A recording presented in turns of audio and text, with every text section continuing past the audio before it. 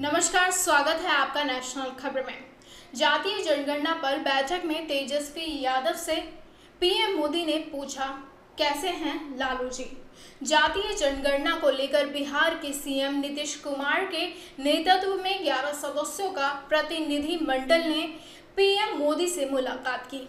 मुलाकात के दौरान प्रधानमंत्री नरेंद्र मोदी ने तेजस्वी यादव से आरजेडी नेता लालू यादव के स्वास्थ्य के बारे में पूछा है। जानकारों का कहना है कि प्रतिनिधि मंडल हैरान था क्योंकि बैठक के एजेंडे और नीतीश कुमार के प्रेजेंटेशन से पहले पीएम मोदी ने तेजस्वी यादव से उनके पिता के बारे में कई सवाल पूछे।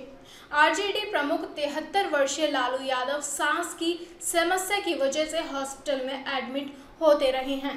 उन्हें किडनी और हृदय संबंधी समस्याओं सहित और भी कई बीमारियाँ भी हैं।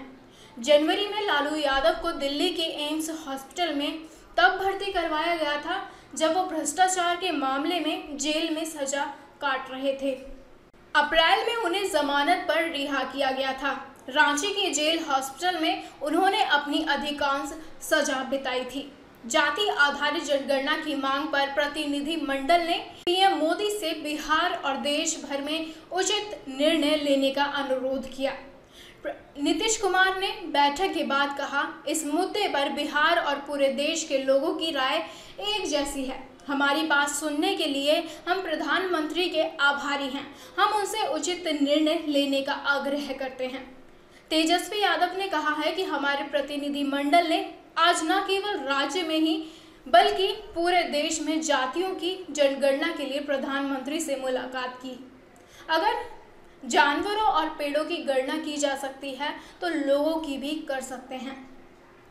जाति जनगणना एक ऐतिहासिक, गरीब समर्थक उपाय होगा।